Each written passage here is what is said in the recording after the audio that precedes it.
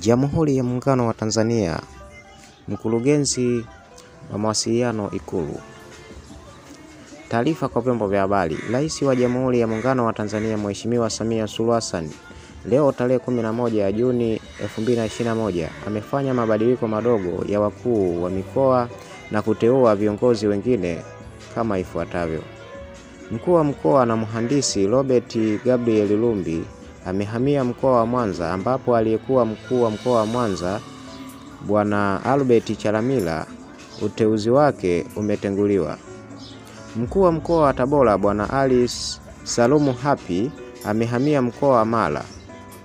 Mheshimiwa Rais Samia ame, ameteua katibu tawala wa mkoa wa Shinyanga Batrida Salha Buliani kuwa mkuu wa mkoa wa Tabora.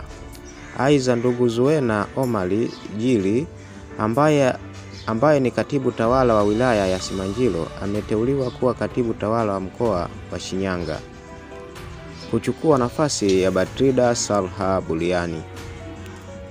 Tarehe ya uapisho wa viongozi wapya itatangazwa baadaye. Kwa habari na zingine zaidi zitakazoendelea, usahau kusubscribe YouTube channel yetu. Asante.